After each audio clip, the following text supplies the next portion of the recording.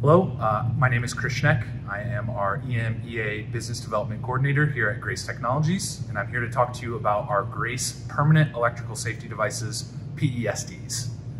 This is our voltage indicator alongside our voltage portal. Uh, it's used primarily in mechanical lockout tagout procedures for non-electrically qualified task workers.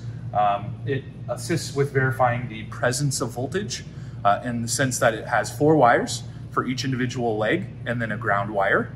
Uh, it will illuminate on each individual leg. Um, in a standard balanced three-phase system, L1, L2, and L3 will be illuminated and your ground LEDs will not.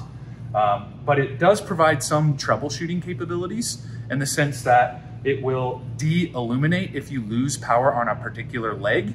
Uh, it will identify which leg has lost power.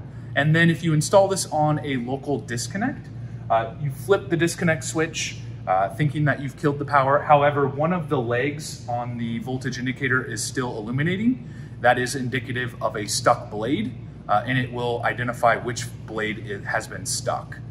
To add to some of the different options that are available with the R3W, we have a flashing option, we have a solid on option, uh, we also have fiber optic, and we also have category three and four rated voltage indicators a distinguishing factor between our voltage indicators is we have a blue face option and obviously the standard R3W. Uh, the blue face is categorized as category three and four. Uh, it's our class one div two rated device. So if you needed to install this in an environment that required a sniff test um, or a potential high explosive environment, uh, we do have voltage indicators that are rated for those specific types of environments. So as I flip the disconnect switch, you can see on the voltage indicator that the LEDs have de-illuminated. However, that is not indicative of an absence of voltage test. You would still need to use a voltmeter or a multimeter to physically test each phase conductor phase to phase and phase to ground to verify the absence of voltage. For installation of our permanent electrical safety devices, uh, you can use a 30 millimeter Greenlee hole punch knockout uh, that comes standard from Greenlee. Uh, all it is required is a, a, hole punch stamp into your machine uh, to install both permanent electrical safety devices. You can order our permanent electrical safety devices in a combination unit, or they can be standalone. Uh, they come with a label. Uh, again, in terms of installation, all that is required is a 30 millimeter Greenlee hole punch knock. Moving on from our standard R3W, this is our R3D2, our flex mount voltage indicator unit.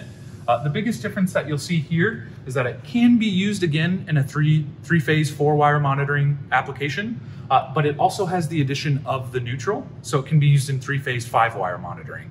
Uh, another key difference between this device and our standard R3W uh, is that this is a conduit hole punch knockout, uh, M20 or three quarter inch. Uh, and again, we typically see this installed on smaller motor mount disconnects or smaller electrical control panels. To use this device again, Obviously, after you flip the disconnect switch, you can see the, the voltage dissipate. Again, these, this device is primarily used with non-electrically qualified workers, so you would still need to use a meter or a voltmeter to test for the absence of voltage. This is our fiber optic voltage indicator unit. Uh, the biggest difference between this device and some of our other voltage indicating units is that this has the power that routes to a power box, that is primarily mounted on a DIN rail in your cabinet that then in turn shoots the LEDs through the fiber optic cable to the voltage indicator itself. We have multiple lengths available that range from 12 inches all the way up to 72 inches in length. Moving on from our other electrical safety devices, this is our voltage test station.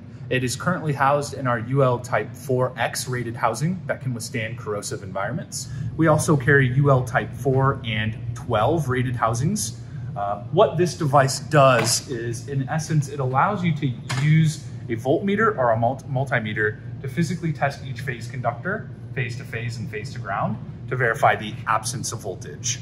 This complies with NFPA 70E, uh, Article 120.5, uh, the process for establishing an electrically safe working condition. The specific step that I'm referring to is step number seven which again states that you must test each phase conductor, phase to phase and phase to ground for the absence of voltage. With our permanent electrical safety devices, you can actually order them as standalone units, as you see here. Uh, the safe test point does come with a featured dust cap and also a built-in high impedance of 102 kiloohms that limits the current to milliamps. You can also uh, install these devices in a combination unit in our UL Type 12 uh, without a Graceport housing unit. Uh, this requires two 30 millimeter hole punch knockouts that are standard within Greenlee, or you can also throw them in our Graceport housing unit, uh, again, coming standard with UL Type 12, 4, and 4X ratings. Moving on from our safe test points, uh, these are our voltage portals. Um, this is our RT3 and our R3K. Our RT3 brings each individual phase into one easy access point to use an NCVD pen to verify, again, the presence of voltage. Uh, this device here, the R3K, utilizes the voltage indicator wiring leads uh, as a pass-through, again, using an NCVD pen to quickly and easily verify the presence of voltage. We have one more additional voltage portal. It's our R1A. It is being discontinued at the end of 2020. However, the, the unique thing about the R1A is that it separates each individual phase uh, so that you can use an NCVD pen to test L1, 2, and 3 individual from one another. Please reach out to our customer service team here at Grace. We'd be happy to configure something for you today.